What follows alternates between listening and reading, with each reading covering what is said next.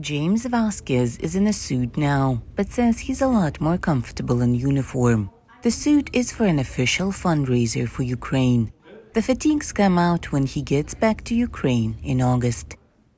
I'm just so used to being over there and hearing air raid sirens and you know being shot at and shelled at every day. It's um, it's almost it's almost weird being back. James made the decision to head to Ukraine to fight on the very first day of the war. I will be fighting with our soldiers, your soldiers. The only reason why I wasn't there on the 25th is because my I didn't have a I didn't have an active passport. I had to get an emergency passport. That's the reason why I showed up there on March 14th. All packed up and ready to go, leaving tonight. Vasquez says the decision to head to Ukraine was an easy one. His grandmother, born in Latvia, told him a lot of stories about Russian soldiers. And my whole family on my grandmother's side got slaughtered by Russians. Every single one. She was only a surviving member. She was made to um, work in a, in a in a sweatshop, you know, sewing, sewing Russian uniforms. Now, I don't know if you guys know what this is behind me. but That's a Russian tank.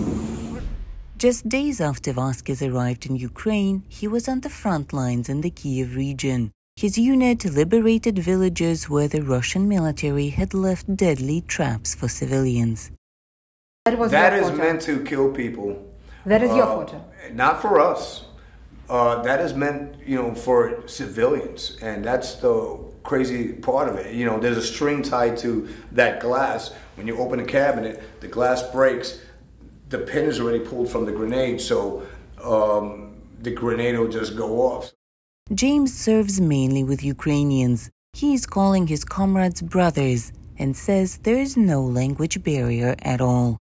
And a lot of them speak broken English as well. So, you know, there, there is some degree of, uh, you know, an ability to communicate with each other. From the Kiev region, his unit was moved to Donbass. While in Ukraine, Vasquez began raising money for Ukrainian fighters. Now he's working with the American charity foundation Ripley's Heroes. We're not buying ammunition. We're not buying guns. We're not doing. It's more like protective. You know, body armor, uh, Kevlar. Um, you know, drones. Um, you know, things that we need in theater. Vehicles are are a big deal. Vasquez is back in the US to sell everything he owns here and then return to Ukraine.